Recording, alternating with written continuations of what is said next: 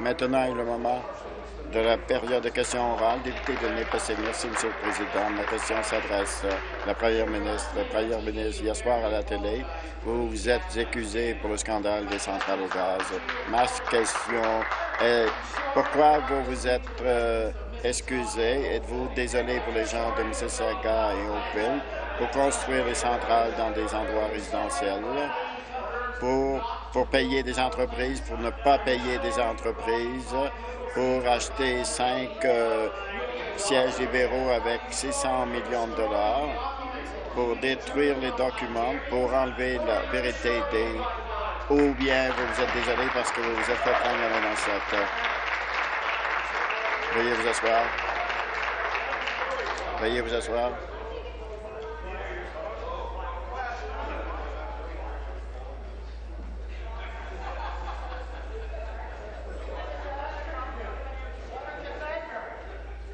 Ministre de l'Énergie, rappel à l'ordre.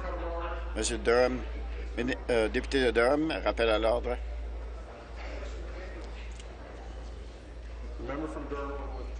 Le député de, de Durham retira ses propos. Je les retire. Première ministre, merci, Monsieur le Président. J'aurais pensé qu'il y aurait eu un préambule à cette question qui aurait dit, comme vous savez, vous avez fait la bonne chose, Première ministre, on vous l'avait demandé, vous avez fait ce qu'on doit et vous avez et vous vous êtes excusé.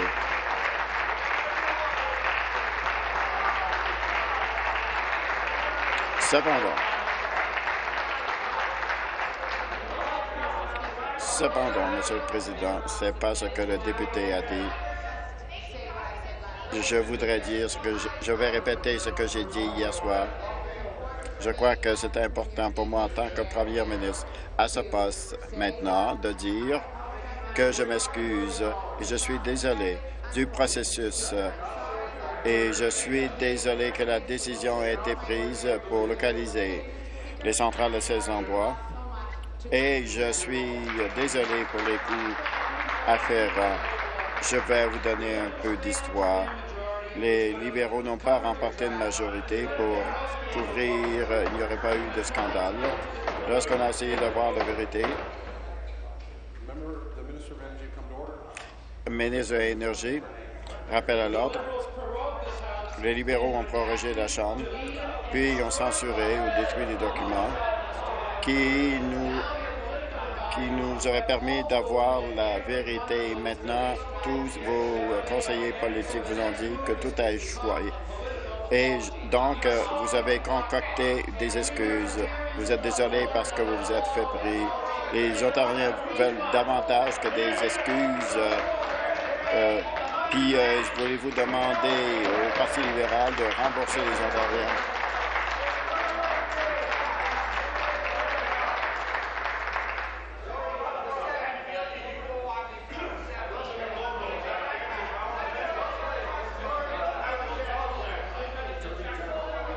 Procureur général rappelle à l'ordre. Rappel, euh, procureur général rappelle à l'ordre. Ministre euh, des services communautaires, député de Bruce, Grey Owen Sound, rappelle à l'ordre. Première ministre, merci, Monsieur le Président. Vous savez, je, je crois que ma première relation est avec la population de l'Ontario. Je parlais à la population de l'Ontario hier. Depuis que je suis première ministre, j'ai été ouverte et transparente. Comme je l'ai dit, j'ai répondu aux questions devant le comité et je me suis assuré qu'il y ait de la transparence et que les documents soient euh, fournis. C'est ce se produit. Nous avons entendu plusieurs points de vue, plusieurs angles différents, mais pour moi, c'était pour moi la raison de prendre, euh, assumer cette responsabilité personnelle. Je crois que le comité va continuer à poser des questions, à faire ses travaux de façon diligente, mais j'ai assumé la responsabilité de mettre en place un processus pour s'assurer que ceci ne se reproduise plus. Complémentaire final, Première ministre, ça aurait été mieux pour les Ontariens si vous auriez fait quelque chose à propos du scandale en 2011 lorsque vous avez vu le document au Conseil des ministres. Vous saviez très bien que c'était une mauvaise idée et vous, vous, vous auriez pu l'arrêter. Mais vos excuses euh, tardives ont des conséquences. Si vous étiez sincère, vous allez vous organiser pour que le Parti libéral rembourse euh, les, euh, de retourner l'argent et de demander à vos témoins de dire la vérité et de, et de répondre à la question importante. Quand est-ce que vous avez appris que les coûts étaient supérieurs à ce que vous avez mentionné? Donc, si vous n'êtes pas disposé à le faire, faites déposer notre motion de censure pour prouver votre sincérité. Veuillez vous asseoir. Merci. Première ministre, merci. Je suis heureux que le député. Veuillez m'excuser. Député de Cambridge, rappel à l'ordre. Première ministre, je suis ravi que le député a parlé de confiance. Oui, il est important pour moi que nous ayons cette discussion autour du budget, parce que le budget, c'est l'enjeu important et l'enjeu de confiance devant cette Chambre, et ceci aura un impact sur la vie des Ontariens. J'ai visité des usines au cours des dernières journées et ces usines sont très heureuses de voir les mesures qui sont dans le budget pour appuyer l'achat de nouveaux équipements et technologies qui vont appuyer également la formation aux jeunes pour qu'ils puissent euh, travailler dans leur entreprise. Ce sont le genre d'entreprise, le genre de mesures qui doivent être en place. C'est pour ça que nous avons besoin de budget. Et j'ai hâte de participer euh, au débat sur le budget et de faire adopter le budget. Nouvelle question, député de Carlton. Ma question s'adresse également à la, première, à la première ministre pendant plusieurs mois en cette Chambre et en comité. On vous a demandé de vous excuser auprès de la population de l'Ontario.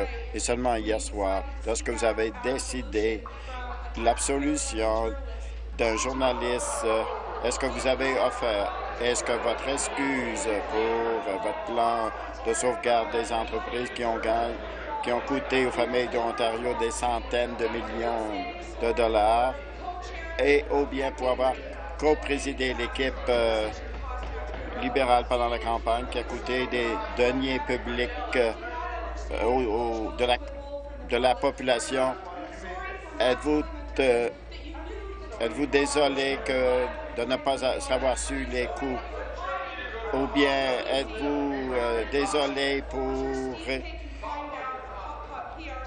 ou bien c'était uniquement un exercice de communication? Merci, M. le Président.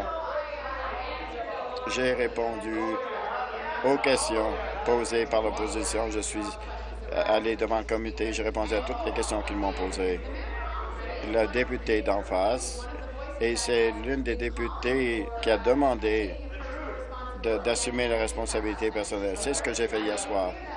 J'ai dit clairement que j'assumais personnellement les responsabilités, que j'étais désolé pour les erreurs du gouvernement et nous avons dit qu'il y avait des erreurs qui avaient été faites, que le processus n'avait pas été très bien, que les centrales n'auraient jamais dû être localisées à ces endroits. Donc, il faut avoir un nouveau processus pour que ceci ne se produise plus. Et c'est pourquoi j'ai fait des excuses hier soir. Donc, c'est un exercice de communication intéressant. Vous savez très bien que qu'on vous a posé la question 180 fois. Quand est-ce que vous l'avez appris? Lorsque les coûts ont dépassé les 40 millions de dollars, il a refusé plus de 130 fois d'offrir ses excuses et de nous, de nos excuses de cette côté pour vos excuses hier soir avec euh, un journaliste qui est financé par euh, même les deniers publics. Nous, de ce côté, que cette première ministre Appel à l'ordre.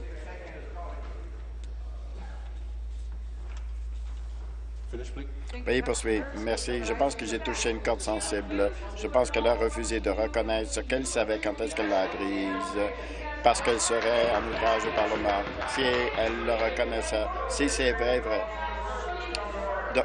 Donc, donc, si vous avez voulu éloigner l'attention du scandale, si vous êtes vraiment désolé pour avoir volé des centaines de millions aux Ontariens, arrêtez la pendule. Rappel à l'ordre, veuillez vous asseoir. Pendant que la pendule est arrêtée, je rappelle à la députée et à tous les députés, lorsque je me lève, vous vous assoyez. Et si vous ne me regardez pas, c'est votre responsabilité. Rappel à l'ordre. Premier ministre, merci, Monsieur le Président. Je voudrais faire un commentaire sur l'environnement politique dans lequel nous sommes. Je comprends pourquoi la députée d'en face parle de, de l'exercice de communication, mais je crois honnêtement que le cadre qu'elle met davantage, en dit davantage sur elle que sur moi. Je suis une humaine qui fait ce travail. Je vais, je je dois le faire de la meilleure façon que je connaisse. Et j'ai fait tout en mon pouvoir pour ouvrir le processus. Je continue à recevoir des appels des gens là-bas. Et nous voulons, par exemple, vous, vous voir assumer personnellement les responsabilités. Ceci n'a rien à voir avec un exercice de communication. Et à savoir que la députée le croit ou non, ceci n'est pas conséquentiel. J'ai fait ce que je devais faire. Merci. Complémentaire final. Oui, je le sais. Elle devait dire qu'elle s'excusait au public parce que c'était l'exercice de communication. C'était la seule chose qu'elle a écarté l'attention. C'est-à-dire qu'elle a et que elle savait très bien longtemps que les coûts étaient supérieurs à 40 millions de dollars. Elle a évité les questions en comité, un autre 29 questions de mon collègue de l'EPC. Je vais dire ceci, Monsieur le Président. C'est une ministre, c'est une première ministre qui a dépensé des centaines de milliers de dollars des deniers publics afin de sauver des sièges est allé d'avoir euh, un financement, aller rencontrer un journaliste financier, même les deniers publics, pour faire ses excuses, pour euh, éloigner l'attention sur elle-même. Et si vraiment elle est, elle est sérieuse, elle saurait également qu'elle doit déposer, faire déposer la motion de censure dans, dans la machine pour que cette motion soit déposée et également soit mise au voie. Veuillez vous asseoir. Veuillez vous asseoir. Première ministre. Je, je crois qu'on devrait défendre Steve Payton. Et je crois que TV Ontario est une institution importante. Mais euh, je voudrais parler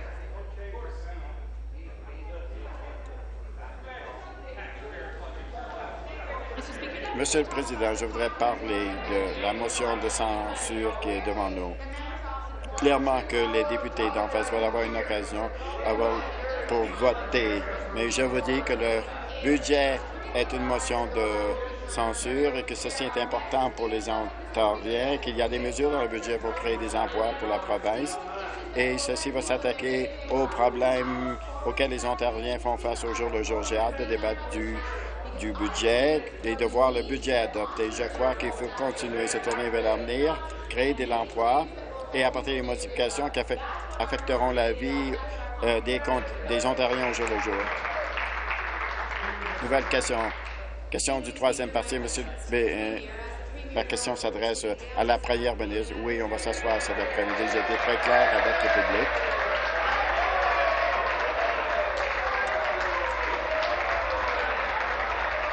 Rappel à l'ordre.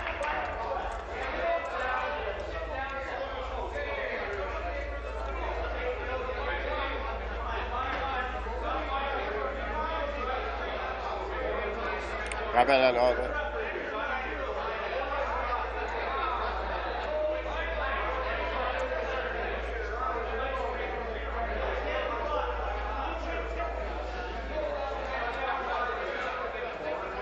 Rappel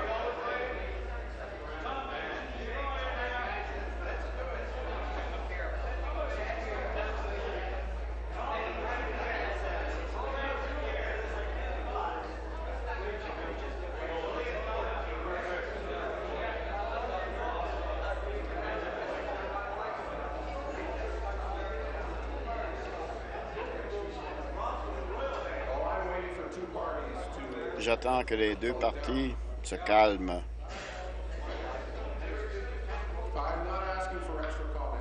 Je ne demande aucun commentaire supplémentaire. Chef du troisième parti, merci, Monsieur le Président. C'était un peu inattendu comme excitation. Oui, j'ai été clair avec le public qu'il y aura un processus transparent. Je vais poser cette question en public. Est-ce que la première ministre est prête à tourner, aller de l'avant pour adopter des mesures visant à rendre le gouvernement plus transparent? Merci, Monsieur le Président. Oui, nous aurons une conversation cet après-midi. C'est le, euh, film Thames et Durman, une fois de plus. J'ai hâte de m'asseoir avec la chef du troisième parti, de parler de ces suggestions qu'elle a proposées. Et ce que je vais dire, je ne vais pas faire de commentaires sur les détails. C'est pour ça que nous devons avoir un tête-à-tête. Euh, mais je crois et je pense qu'il faut trouver des façons de rendre le gouvernement plus transparent et, d'améliorer la redevabilité du gouvernement. C'est ce que j'aimerais, c'est ce dont j'aimerais parler avec la leader du troisième parti complémentaire. Je suis heureuse et ravie d'entendre ça parce que ce sont les Intériens qui veulent avoir de l'espoir, qui veulent avoir de vrais changements, qui rendent le gouvernement plus transparent et plus redevable. Après tout, le gouvernement est là pour le peuple et non pas le contraire.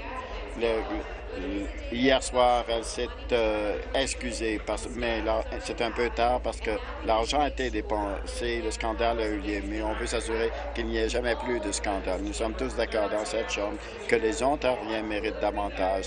Est-ce que la première ministre est d'accord que le gouvernement doit être plus redevable et plus transparent? Et que nous allons, nous, les, néo-démocrates, proposer des mesures en ce sens. Euh, merci, Monsieur le Président. J'ai hâte d'avoir cette réunion cet après-midi. Et la redevabilité est un processus en évolution, une réalité en évolution. Nous, en gouvernement, nous avons mis en place des mesures de redevabilité qui sont nécessaires. En 2010, par exemple, le secteur du, para... du euh, les mesures de redevabilité et les mesures sur le lobbyisme dans le secteur parapublic et public. Et en 2004, par exemple, la loi sur la transparence et la responsabilisation financière et le cadre de politique fiscale, nous avons mis en place des mesures. Il y a toujours des choses supplémentaires qui peuvent être, être faites, combler des lacunes. Et j'espère que ceci fera partie de notre conversation de cet après-midi. Question complémentaire. Les familles veulent avoir confiance à l'avenir, ne veulent pas attendre un nouveau scandale et des nouvelles excuses. Un directeur de responsabilisation financière donnera la confiance aux Ontariens qu'on ne va pas gaspiller de l'argent. Les Ontariens veulent avoir de la transparence et de la clarté. Est-ce que la première ministre est d'accord que la création d'un tel poste sera la solution?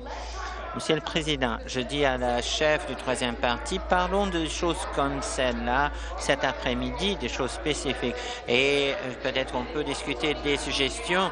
Il faut avoir la conversation et c'est tête à tête. Je suis contente qu'on l'a finalement parce que je crois que la population veut voir le un gouvernement qui fonctionne et les partis politiques dans cette Assemblée législative qui travaillent ensemble. Je l'ai entendu à plusieurs reprises.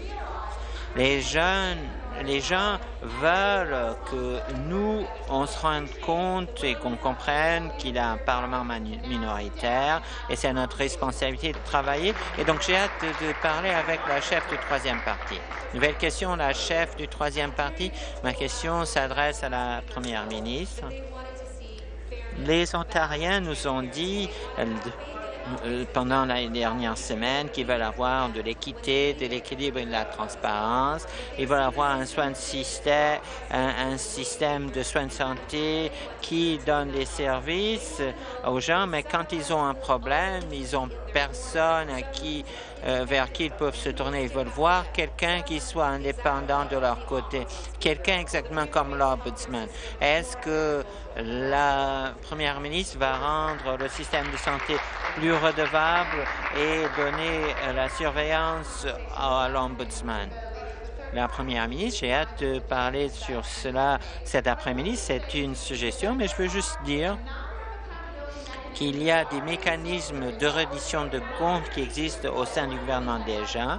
Et une des choses dont j'aimerais parler avec la chef du troisième parti, comment est-ce que on peut améliorer les mesures de reddition de comptes qui existent déjà, qui sont là, et qu'il faut arriver à un certain accord si on peut les améliorer ou pas. Et ça, c'est une des choses dont euh, j'aimerais parler avec euh, la chef du troisième parti parce que je dois croire, je crois qu'on peut toujours améliorer les choses. Voyons ce qui existe et si les choses peuvent être améliorées, comme la chef du troisième parti, je crois que la responsabilisation, c'est une bonne attente des Ontariens et on doit être responsable de nos gestes. Question complémentaire. J'ai trois choses à dire là, au commentaire de la première ministre de la redevabilité du euh, euh, Parti libéral. Cybersanté, Orange et Centrale au gaz. La population est fatiguée depuis plus d'une semaine qu'ils sont fatigués de ne pas savoir si le gouvernement va utiliser euh, l'argent de façon prudente et sage pour répondre à leurs besoins plutôt qu'aux besoins du Parti libéral. Ils nous ont veulent de, de l'équité. Ils voient un gouvernement qui donne une échappatoire fiscale d'1,3 milliard de dollars aux, entre, aux sociétés et les Ontariens euh, doivent faire des sacrifices. Est-ce euh, juste? Réponse la ministre, comme la chef du troisième parti le sait. Le ministre des Finances est en communication avec le ministre fédéral des Finances quant aux questions de euh, l'imposition fiscale pour les entreprises et il faut travailler de deux côtés. Mais il faut travailler avec le gouvernement fédéral. C'est une des choses sur laquelle je veux parler à la chef du troisième parti. Qu'est-ce qui est possible et faisable quant euh, à la responsabilité du provincial euh, et notre possibilité de faire des changements. Je ne peux pas donner un engagement, soit en public, soit en privé, pour faire quelque chose sur laquelle on n'a pas la responsabilité ce qu'on s'engage à faire doit être faisable et prudent. Et c'est pourquoi, Monsieur le Président, dans notre budget, on a traité des questions comme l'assurance auto et euh, les soins de santé à domicile. Il faut prendre des choses qu'on peut faire. Merci. Question complémentaire finale. J'espère qu'il y a des négociations avec le gouvernement fédéral parce que ce n'était pas dans le budget de se débarrasser de cet échappatoire pour les entreprises d'1,3 milliard. Et c'était à la dernière, dernière minute que le ministre des Finances a envoyé une lettre au ministre fédéral des Finances cela ne montre pas des un vrai engagement. Les Ontariens nous ont demandé à demander des comptes ce qu'ils pensaient du budget. Ils sont fatigués du gaspillage d'argent. Est-ce que la première ministre euh, va répondre aux, aux demandes des Ontariens avoir des mesures de redevabilité? Réponse de la Première ministre, merci. J'ai hâte de parler avec la chef du troisième parti. Nous aussi, on a écouté les Ontariens et Ontariennes parce qu'on pense que c'est comme ça qu'on a de bonnes politiques. C'est important que les élus écoutent les gens dans nos circonscriptions et de la province quant aux préoccupations. Et c'est ce que le budget reflète. Euh, les gens parlent d'où sont venues les idées du budget. Ils sont venus des préoccupations de la population de la province. Et les préoccupations, c'est la création d'emplois, que les enfants des gens puissent se trouver des emplois et que les gens d'un certain âge puissent se trouver euh, dans le marché du travail. C'est des préoccupations quotidiennes. C'est des choses qui touchent les gens dans leur quotidien, comme la prestation de services pour nos euh, services de santé pour nos parents et grands-parents c'est atteint. Et c'est des choses dont les gens nous parlent. Et on a, euh, on a euh, du commun avec les néo-démocrates et l'opposition. Et c'est pourquoi on peut adopter ce budget. Merci. Nouvelle question, le député de Durham. Ma question s'adresse à la première ministre. Madame la première ministre, le fiasco de Central Gaz est le pire scandale de l'Ontario. Vous avez essayé de renier, de cacher les choses et de blâmer les autres.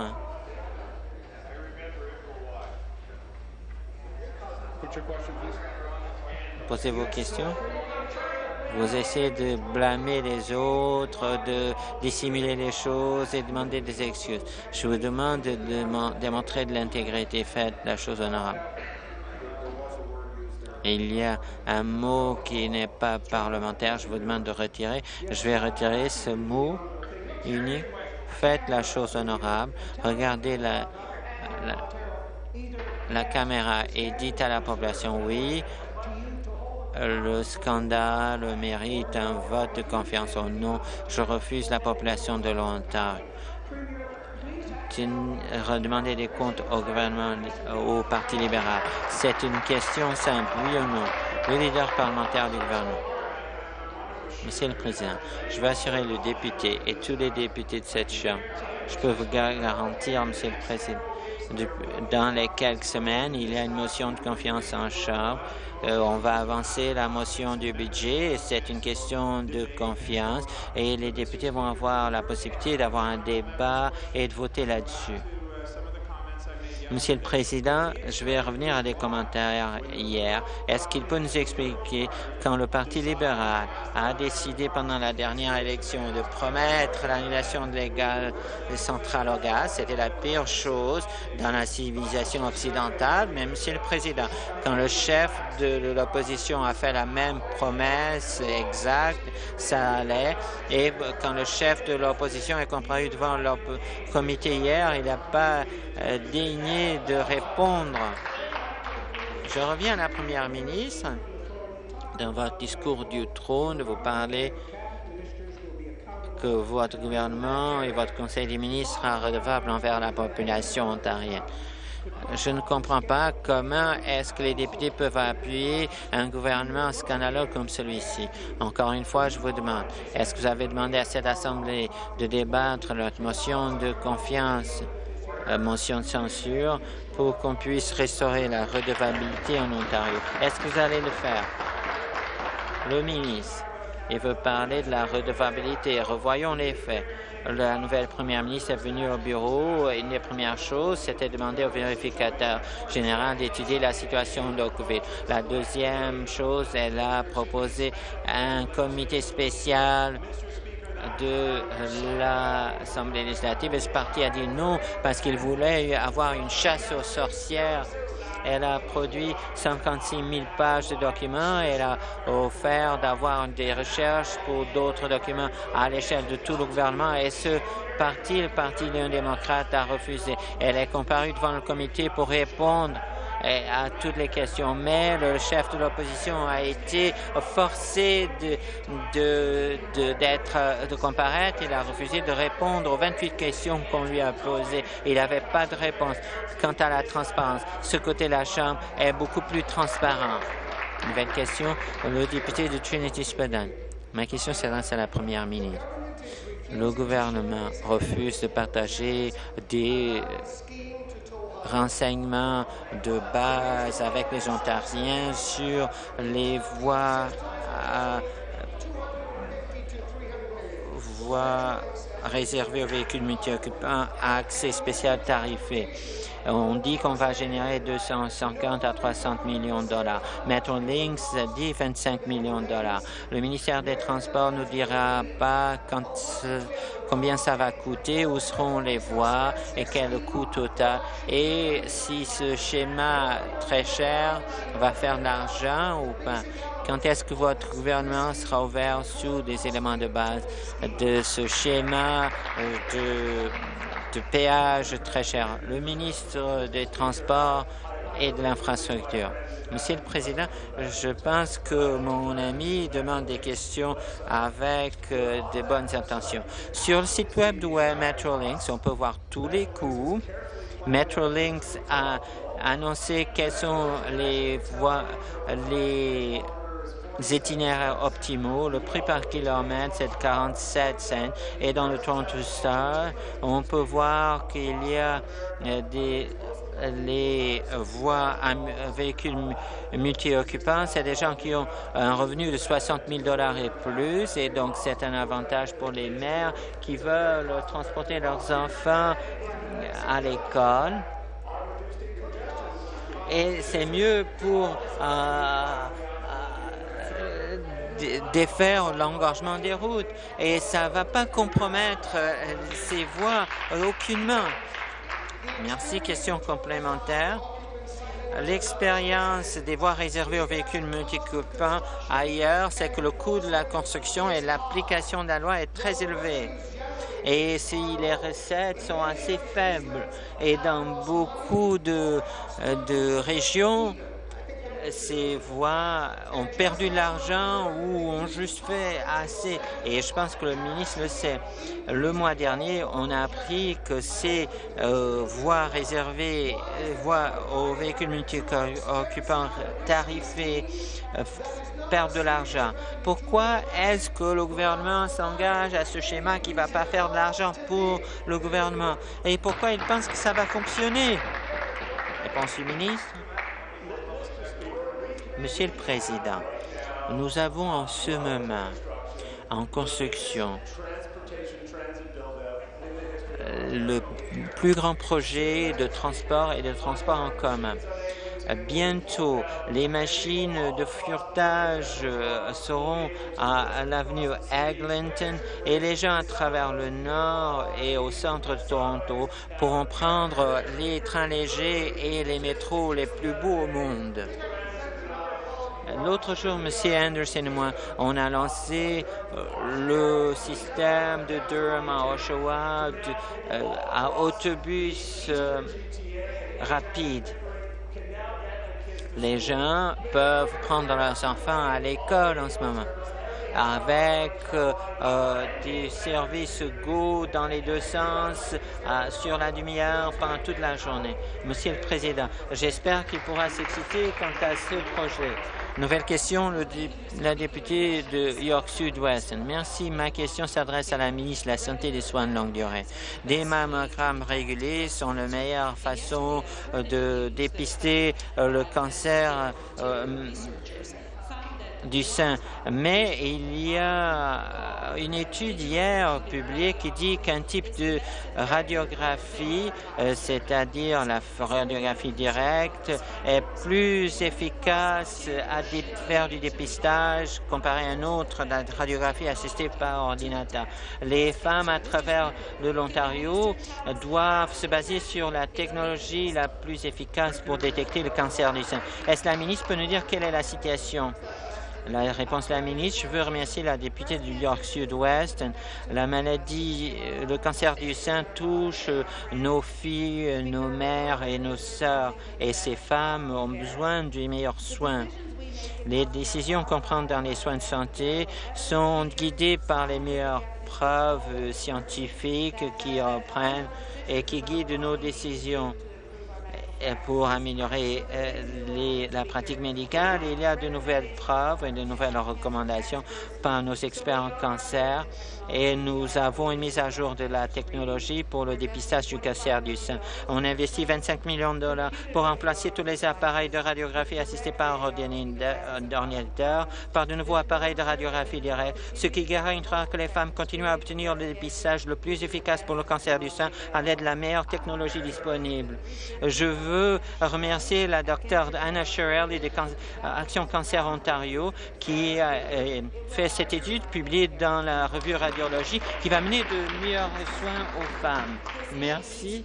Cet enjeu doit être sérieux et il faut avoir des mesures plus solides.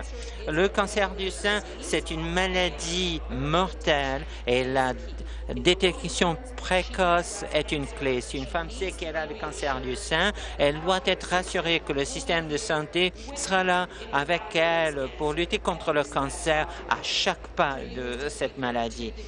Euh, je demande à la ministre, euh, Monsieur le Président, est-ce que les femmes qui souffrent du cancer du sein en Ontario peuvent être sûres qu'elles vont recevoir le soin le, les meilleurs? Merci. Réponse de la ministre. Je partage l'engagement de la députée qu'on veut assurer que les femmes qui souffrent du cancer euh, vont recevoir le meilleur soin. 88 des femmes euh, sont diagnostiquées, sont bien en vie, bien portantes cinq ans après le diagnostic du cancer du sein. Et en Ontario, les femmes ont les meilleures chances de survie euh, comparées à tout autre endroit au monde, selon une étude sur le cancer. On a tripler le financement pour des médicaments euh, contre le cancer euh, avec un nouveau programme. 49 euh, médicaments additionnels sont financés. On a réduit les délais d'attente pour la chirurgie contre le cancer et 97 de patients du cancer ont commencé la radiothérapie dans, à, l'intérieur des quatre semaines. Nouvelle question, le député de Alton Hills. Wellington Alternate. Cet après-midi, on va voter une opposition euh, de, euh, une motion du jour de l'opposition qui, s'est adoptée, demande à ce que les leaders parlementaires déposent une motion de censure euh, déposée le 28 mai. Un vote affirmatif de la Chambre aujourd'hui devrait forcer le gouvernement à suivre des centaines d'années de tradition et tester la confiance. Si notre motion est adoptée cet après-midi, est-ce après-ministre va respecter la volonté de cette Chambre? Le leader parlementaire du gouvernement.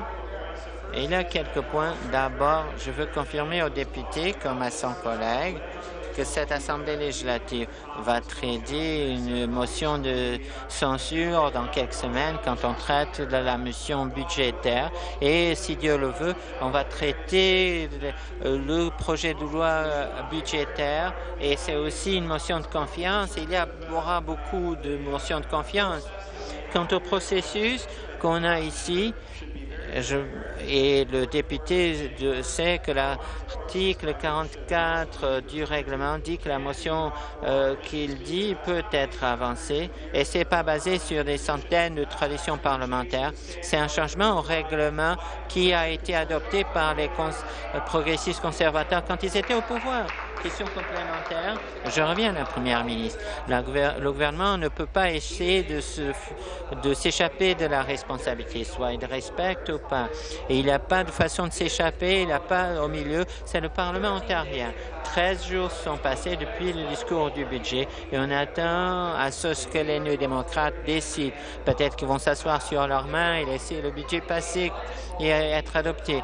Mais une motion budgétaire euh, a seulement trait à la politique budgétaire du gouvernement et c'est une motion de confiance quant à la politique budgétaire, pas en général. Si notre motion est adoptée, le gouvernement le gouvernement ne peut pas ignorer la volonté de la Chambre et dire qu'il a de la légitimité. Est-ce que la première ministre va faire ce qui s'impose? Si la motion est adoptée cet euh, après-midi? Est-ce qu'elle va appeler une motion de censure le 28 mai?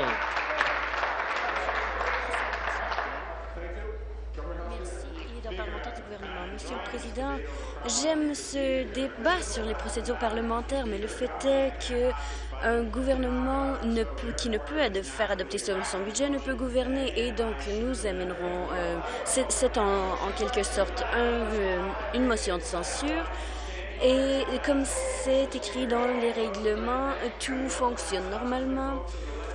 Et nous aurons un vote bientôt dans cette Assemblée et en ce qui concerne ce vote de censure, encore une fois, je demande aux euh, députés de l'autre côté de regarder le règlement à l'article 44 euh, qui euh, couvre ce sujet. Et vous savez, ce sont des règlements qui ont été amenés des progressistes conservateurs lorsqu'ils étaient au pouvoir.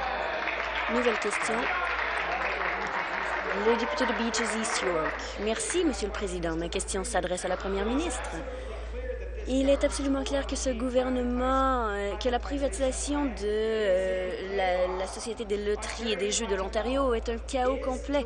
Les Ontariens veulent savoir, est-ce que Toronto reçoit un, marché spécial pour euh, être l'hôte du casino ou non?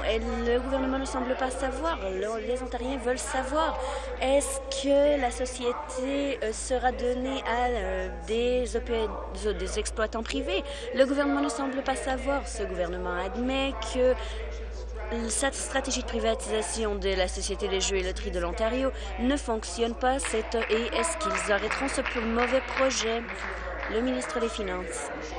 Merci, Monsieur le Président. J'apprécie la question. Le député de l'autre côté a mentionné encore une fois le besoin de transformer les manières dont on fait des affaires avec la Société des jeux et des loteries. Euh, nous avons c'est une société qui amène de bonnes contributions. Ça nous aide à amener plus d'écoles, plus d'hôpitaux et de réformer les programmes sociaux. Nous devons nous assurer que la privatisation de cette société sera bien faite afin d'avoir de la bonne valeur pour le dollar des contribuables. C'est ce que l'on fait. Complémentaire. Eh bien, cette fois au ministre, j'imagine. Cette société a euh, un PDG qui a été choisi par le gouvernement lui-même et qui euh, essaie d'avoir un casino au, euh, au centre-ville de Toronto et on voit qu'il y a probablement un marché spécial qui a été fait pour Toronto et ces entreprises ont été très claires. Ils veulent un euh, ils veulent un terrain centre-ville, sinon ils ne seront pas, ils n'établiront pas leur casino à Toronto ou euh, en Ontario. Et donc, est-ce que le gouvernement euh, sera clair avec en ce qui concerne son plan pour un casino centre-ville et feront savoir à la population ce qui se passe en avance? Le ministre, eh bien, le conseil a devant lui l'occasion de, prendre une décision. Il, euh, il on reconnaît que ça dépend du gouvernement et de la municipalité pour euh, accepter d'accepter ce contrat.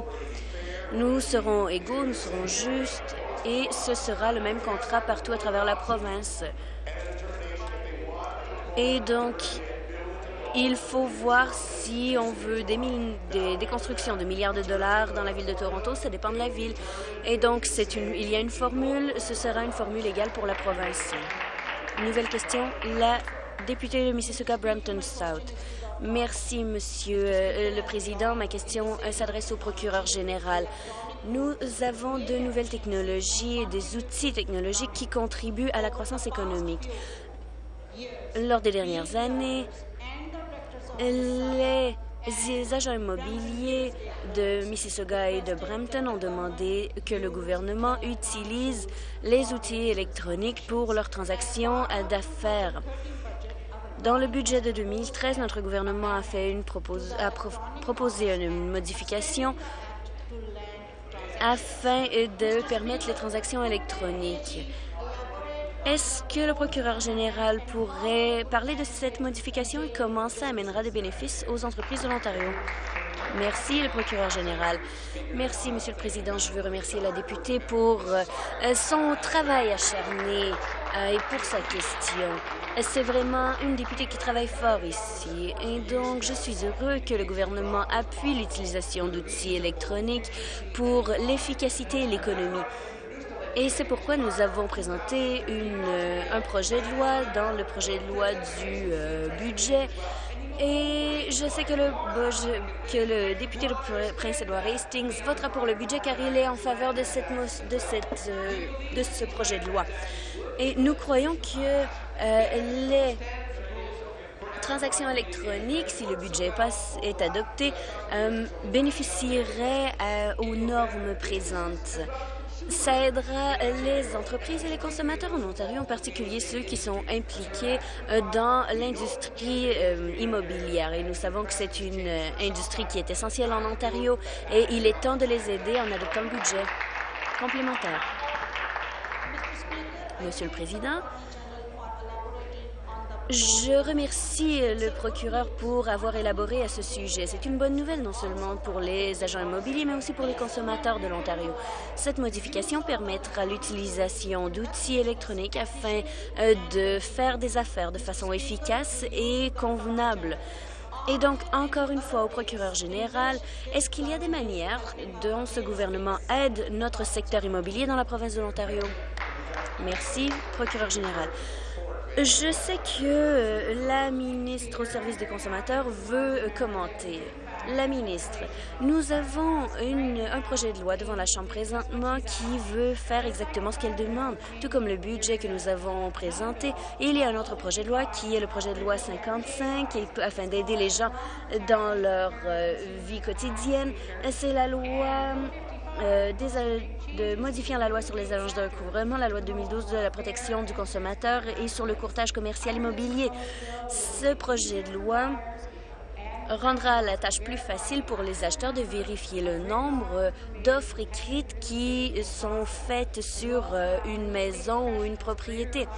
Et donc, ça amène de euh, une meilleure flexibilité dans ces offres, ce projet de loi, et les modifications qui sont proposées dans le budget en ce qui concerne les signatures électroniques, euh, à laquelle le procureur général a commenté amèneront de bons changements et donc j'encourage les députés d'appuyer tous les deux projets de loi. Merci. Nouvelle question, le député Dalton. Merci. Ma question s'adresse à la première ministre. Dans quelques jours, les familles ontariennes se rassembleront pour la, la longue fin de semaine.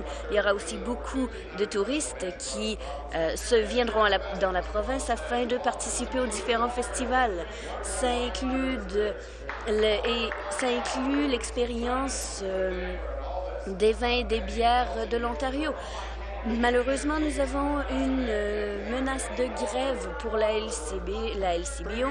Et donc, avec euh, la LCBO qui euh, vend les, les, vins et les bières ontariennes, comment est-ce que la première ministre croit que ça n'affectera pas l'une des meilleures fins de semaine en Ontario? Le ministre des Finances. Eh bien, Monsieur le Président, nous avons une situation avec la LCBO et les employés négocient leurs accords collectifs. Et nous euh, voulons qu'ils aient ces discussions. Et donc nous leur permettrons d'aller de l'avant. Et j'ai bon espoir qu'ils atteindront euh, un accord et que nous pourrons tous profiter de la longue fin de semaine. Complémentaire. Eh bien, Madame la Première ministre, étant donné que vous avez euh, un bon bilan d'augmentation de salaire pour le secteur public. Euh, il n'est pas étonnant que nous soyons toujours tenus euh, en otage par une, un organisme public. Votre organisation est hors de contrôle et votre système ne fonctionne pas et ça met en risque les contribuables et leur longue fin de semaine. Notre plan pour euh, les compensations du secteur public est vraiment la seule manière d'aller de l'avant.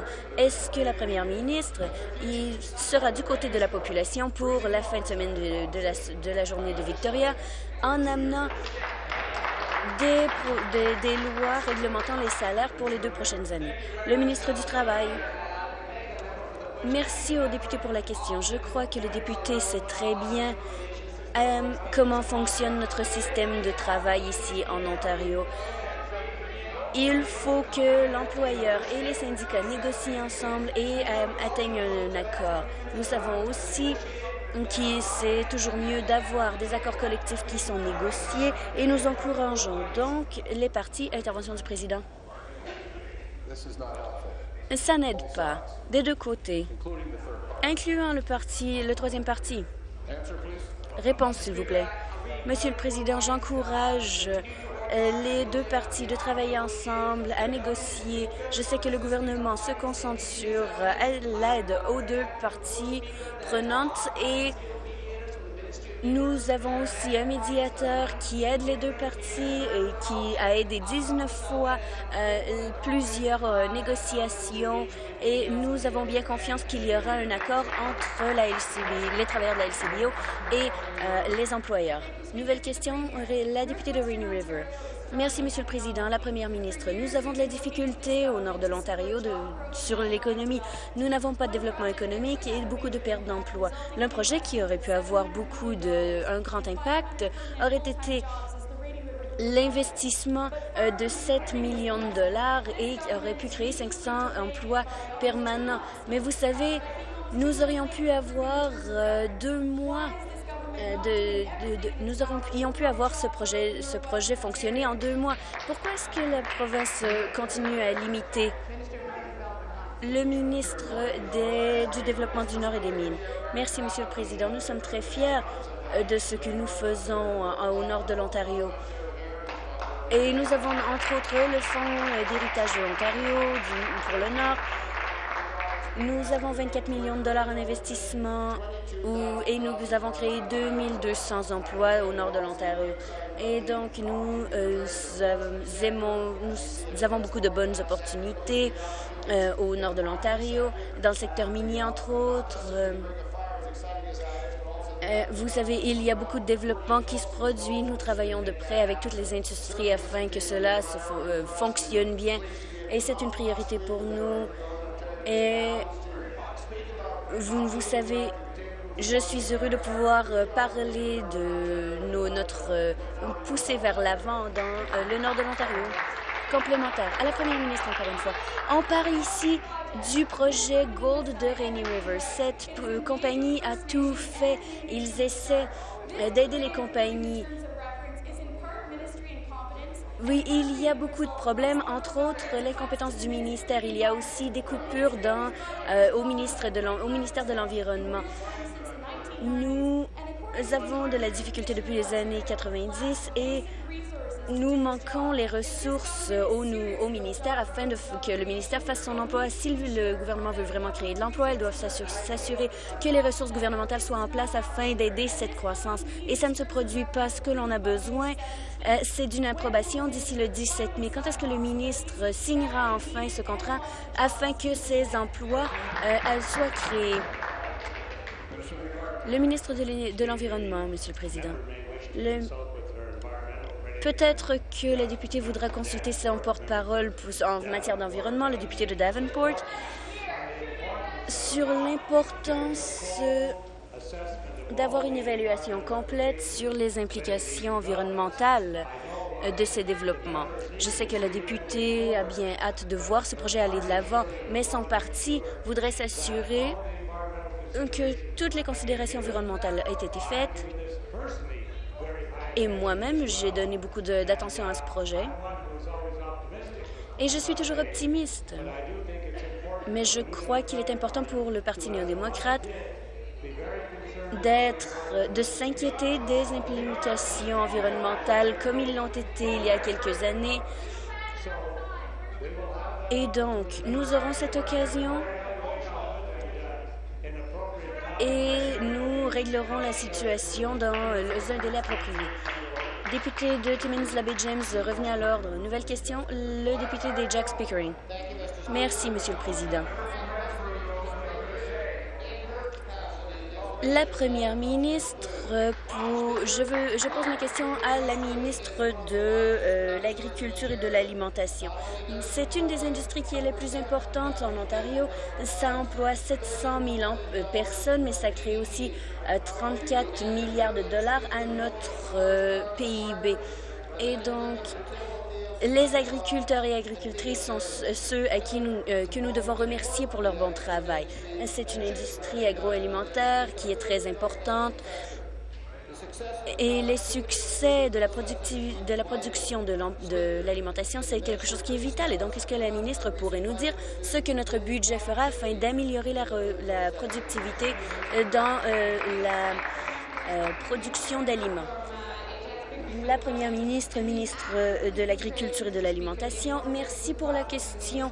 Euh, il montre très bien à quel point l'agriculture est quelque chose d'important dans notre euh, dans notre euh, industrie, dans notre économie. C'est ça crée de l'emploi, ça améliore l'économie, ça appuie nos agriculteurs. Et donc, nous croyons qu'il est important d'appuyer euh, l'industrie de transformation des aliments. C'est pourquoi, dans notre budget, que nous aimerions bien voir adopté, inclut des propositions afin euh, d'améliorer le financement dans, de la de, le financement de la de la machinerie pour la transformation des produits agricoles. Et donc, euh, cet équipement euh, amènera 265 millions de dollars euh, et ça fait partie de notre effort afin d'améliorer la productivité. Merci complémentaire. Merci, Monsieur le Président. Merci à la Première ministre, les hommes et les femmes qui travaillent dans le secteur de transformation des aliments. Il, faut il faut continuer à appuyer les gens dans, dans cette industrie. Les, les transformateurs alimentaires ont vraiment besoin d'aide. Nous avons vu les transformateurs d'aliments euh, être coincés dans la bureaucratie et ils veulent s'assurer que la qualité est maintenue, mais il y a malheureusement un dédoublement de services. Monsieur le Président, est-ce que la, Première ministre et la ministre de l'Agriculture pourraient mettre à jour la Chambre sur ce que notre gouvernement veut faire afin de diminuer la bureaucratie qui existe dans cette industrie? Merci, Monsieur le Président. J'ai entendu ces inquiétudes de la part des agriculteurs et des transformateurs d'aliments euh, lorsque l'on parle de bureaucratie dédoublée. Et donc, c'est exactement pourquoi nous avons la table ronde. C'est une table ronde qui permet aux agriculteurs et aux transformateurs d'aliments de nous donner de bonnes idées afin de euh, clarifier le chemin euh, pour qu'ils aient des entreprises qui réussissent bien. Donc ces deux parties se sont présentées à la table et ils ont parlé au ministère et donc c'est important pour le ministère d'entendre les commentaires des gens qui travaillent dans le, secteur agroalimentaire. Et donc, je suis vraiment heureuse de faire partie de cette conversation et de continuer à travailler avec ces deux parties parce que c'est quelque chose qui est essentiel et c'est la manière dont on peut savoir ce qui se produit euh, sur, le, sur le secteur et que nous pouvons les aider le député de euh, Alton Hills. Merci, Monsieur le Président. Ma question s'adresse à la ministre de l'Éducation. Je veux parler d'une petite fille qui, dans ma circonscription, Hope Hawkins, qui a de la difficulté à entendre. Elle sera en huitième année euh, l'an prochain et elle veut euh, elle veut faire sa huitième année avant d'aller à l'école secondaire même malheureusement, elle a besoin de transport spécialisé. Vous savez, une école publique, ce n'est pas une bonne idée pour Hope parce qu'elle a besoin d'équipements spécialisés et c'est quelque chose qui coûte cher. Son expérience en éducation n'a pas été idéale. Et donc, Madame la ministre, est-ce que vous pouvez nous dire ce que vous faites afin que Hope reçoive les transports adéquats pour se rendre à l'école? La ministre, merci. Et évidemment, je ne connais pas ce cas particulier. C'est toujours difficile lorsqu'un étudiant, un élève doit être transporté d'une école à l'autre et, qu'il y a des besoins d'arrangement spécial. Et donc, je crois que ce serait mieux euh, d'avoir plus d'informations sur ce cas en particulier. Et ensuite, nous pourrons voir si nous pouvons trouver une manière de résoudre ce problème. Donc, euh, en ayant plus d'informations, en fait, nous voyons qu'il est très difficile pour elle de se rendre à l'école dans laquelle elle voudrait aller. Je sais qu'on se trouve face à beaucoup de règlements parfois et nous devons comprendre le besoin de lignes conductrices et, cela montre bien l'échec parfois du service de transport des écoles. C'est quelque chose qui a besoin tout simplement de bon sens pour être mis en place et j'espère que nous n'allons pas être bloqués par la bureaucratie, mais que nous allons pouvoir mettre en place ce qui est nécessaire. La ministre. Merci.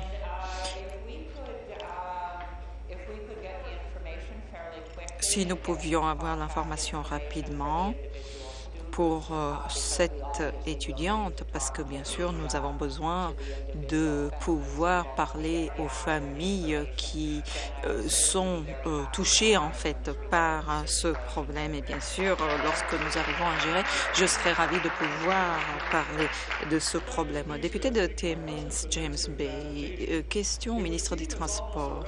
Il semble que ce soit régulier que quand on vous pose des questions, on essaye de vous parler on parle de l'échec du système de privatisation pour les autoroutes de l'Ontario.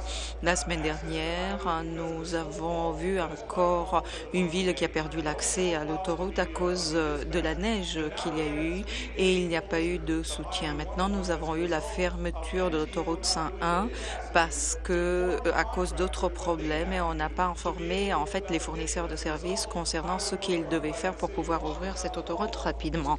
Alors, résultat est que cette autoroute a été fermée pendant plusieurs jours. Alors, quand est-ce que vous allez admettre que le système ne fonctionne pas et qu'il faut faire quelque chose avant qu'on ait véritablement de gros problèmes en Ontario?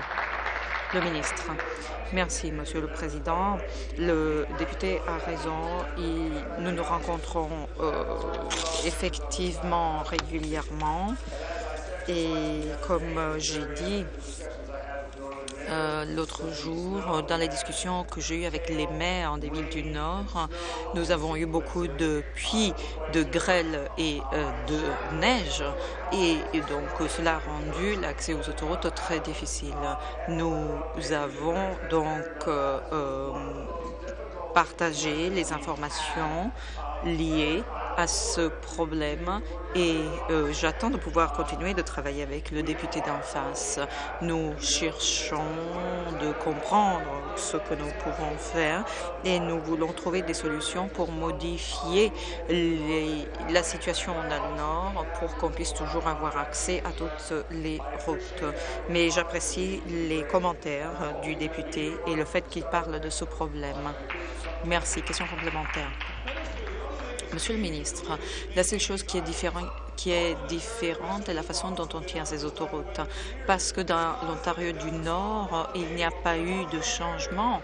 C'est toujours l'Ontario du Nord et euh, toujours avec les mêmes difficultés. Et le ministre doit commencer à euh, réfléchir comment faire pour ne pas fermer les autoroutes. Le fait est que les, euh, le fournisseur de services précédent n'a plus la capacité de pouvoir nous aider à maintenir ces autoroutes ouvertes. Donc, je vous demande quand est-ce que vous vous engagez à revoir le système pour que nous ne trouvions plus dans un système où à chaque fois qu'il neige, une partie de la province de l'Ontario est bloquée? Le ministre. Merci, Monsieur le Président. Nous sommes maintenant entre le 22 avril et le 22 mai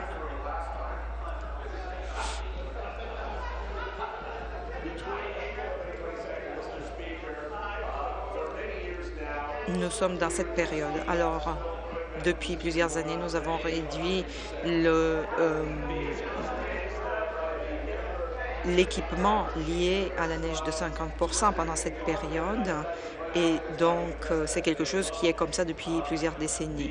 Mais le problème soulevé par le euh, député de euh, Cochrane aussi était lié à ce problème. Et c'est la raison pour laquelle, dans cette période de transition, nous avons une neige qui est exceptionnelle. Et donc, forcément, nous avons des problèmes à la gérer lorsque nous avons réduit l'équipement.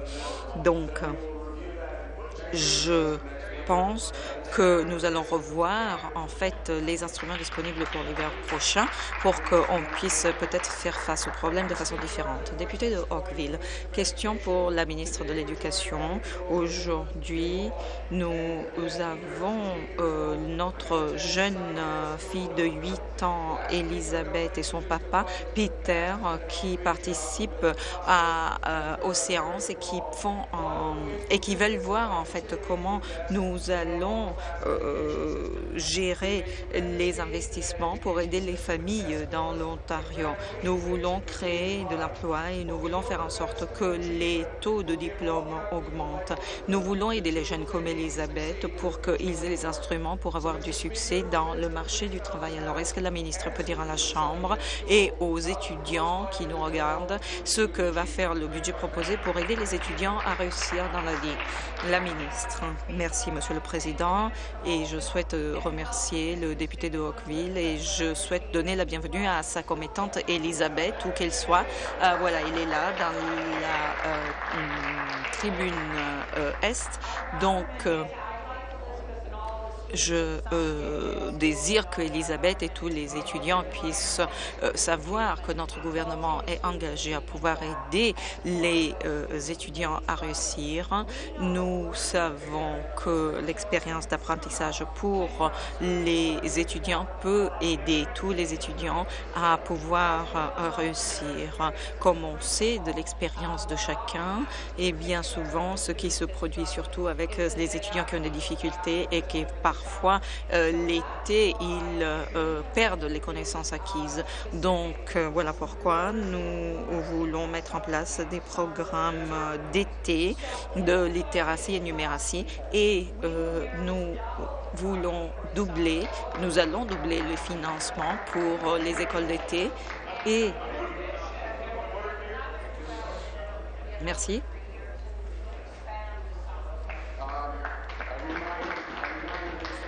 Je rappelle à la ministre que lorsque je me lève, son micro est éteint.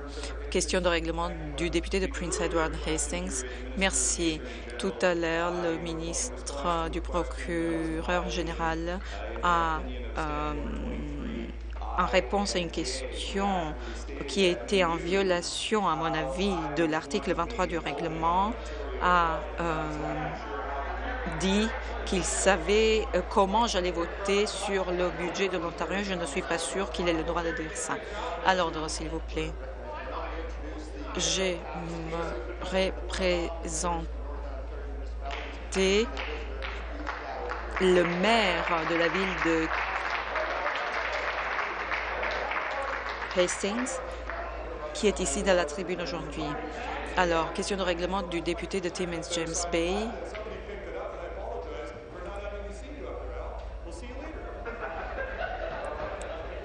Je suis désolée de ne pas avoir présenté quelques personnes, mais je pourrai les voir tout à l'heure. Nous sommes très contents que vous soyez ici, en tout cas. Alors, nous avons un vote différé sur la motion pour la deuxième lecture pour euh, pour la motion, euh, le projet de loi 36.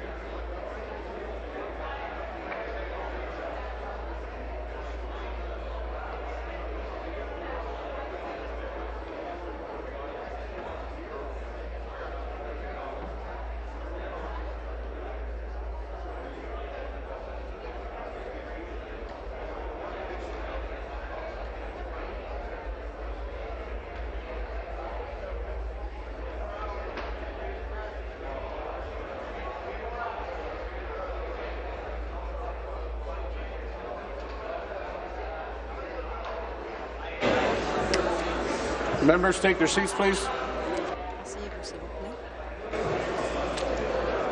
All members, take your seats, please.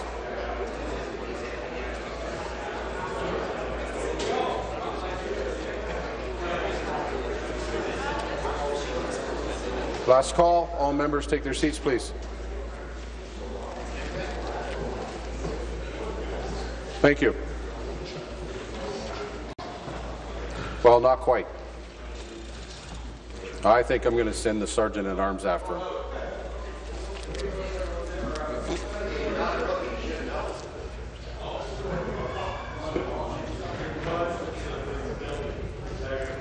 And, and I'm standing. Je suis debout. Ms. Wynne has moved second reading of Bill 36. Madame Wynne a proposé la deuxième lecture du projet de loi 36, loi édictant la loi de 2013 sur les aliments locaux. Veuillez rester debout ceux qui sont en faveur. Mr. Garrettson. Mrs. Jeffrey. Mrs. Jeffrey. Mrs. Jeffrey. Mr. Souza. Mr. Souza. Ms. Matthews. Ms. Matthews. Ms. Matthews. Madame Mayor. Madame Mayor. Ms. Sandals. Ms. Sandals. Ms. Sandals. Mr. Hoskins. Mr. Hoskins. Ms. McCharles. Ms. McCharles. Mr. Quinter. Mr. Quinter. Mr. Bartolucci. Mr. Bartolucci. Mr. Crater. Mr. Crater. Mr. Cole. Mr. Cole. Mr. Duguid. Mr. Duguid. Mr. Gravel. Mr. Gravel. Mr. McMeekin. Mr. McMeekin. Mr. Chan. Mr. Chan. Ms. Peruzza. Ms. Peruzza. Mr. Murray. Mr. Murray. Mr. Shirelli. Mr. Shirelli. Ms. Broughton. Ms. Broughton. Mrs. Cansfield. Mrs. Cansfield. Mr. Balkison. Mr. Balkison. Mr. Quadri. Mr. Quadri. Mr. McNeely. Mr. McNeely. Mr. Moridi. Mr. Moridi. Mr. Orzetti. Mr. Rossetti. Mr. Coteau. Mr. Coteau. Mr. Sergio. Mr. Sergio. Mr. Nakvi. Mr. Nakvi. Mr. Leal. Mr. Leal. Mr. Zimmer. Mr. Zimmer. Mr. Morrow. Mr. Morrow. Mr. Flynn. Mr. Flynn. Mr. Dillon. Mr. Dillon. Mr. Delaney. Mr. Delaney. Mr. Del Duca. Mr. Del Duca. Ms. Wong. Ms. Wong. Ms. Domerla. Ms. Domerla. Mr. Crack. Mr. Crack. Ms. Manga. Ms. Manga. Ms. Jassic. Ms. Jassic. Mr. Dixon. Mr. Dixon. Ms. Albanese. Ms. Albanese. Mr. Hardiman. Mr. Hardiman. Mr. Wilson. Mr. Wilson. Mr. Arnold. Mr. Arnold. Mr. Sherman. Mr. Sherman. Mr. Yakubuski. Mr. Yakubuski. Ms. McLeod. Ms. McLeod. Mr. Miller, Perry Sound, Muskoka. Mr. Miller, Perry Sound, Muskoka. Mr. Cleves. Mr. Cleves. Mr. Bailey. Mr. Bailey. Mr. Hillier. Mr. Hillier. Mr. Barrett. Mr. Barrett. Ms. Jones. Ms. Jones. Mrs. Monroe. Mrs. Monroe. Mr. Chudley. Mr. Chudley. Mr. Clark. Mr. Clark. Mr. O'Toole. Mr. O'Toole. Mr. Willett. Mr. Willett. Mr. Smith. Mr. Smith. Ms. Thompson. Ms. Thompson. Mr. Fideli. Mr. Fideli. Mr. Urich. Mr. Urich. Ms. Scott. Ms. Scott. Mrs. McKenna. Mrs. McKenna. Mr. McNaughton. Mr. McNaughton. Mr. Leone. Mr. Leone. Mr. McDonnell. Mr. McDonnell. Mr. Walker. Mr. Walker. Mr. Jackson. Mr. Jackson. Mr. McLaren. Mr. McLaren. Mr. Nichols. Mr. Nichols. Mr. Vantal. Mr. Vanta. Mr. Bisson. Mr. Bisson. Ms. Horvath. Ms. Horvath. Ms. DeNovo. Ms. DeNovo. Mr. Marchese. Mr. Marchese. Madame Gelina. Madame Jelena. Mr. Prue. Mr. Prue. Ms. Taylor. Ms. Taylor. Mr. Nadishak. Mr. Natashak. Mr. Tabbins. Mr. Tabbins. Mr. Singh. Mr. Singh. Mr. Miller Hamilton East County Creek. Mr. Miller, Hamilton East Stony Creek. Ms. Forster. Ms. Forster. Ms. Campbell. Ms. Campbell. Ms. Armstrong. Ms. Armstrong. Mr. Mantha. Mr. Mantha. Ms. Fife. Ms. Fife.